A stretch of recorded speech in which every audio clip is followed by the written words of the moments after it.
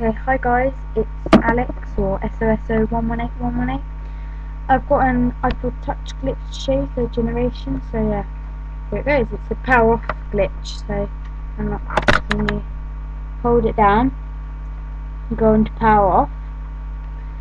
Then what you do is if you slide it,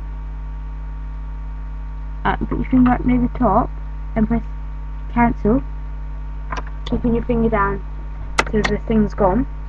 Then um, go to turn off again, and the slide bar will be in the middle. So yeah, and if you like tap it, it will go, and there's nothing done, no damage or anything to your iPod. So thanks, yeah, and subscribe. There'll be some app reviews coming up.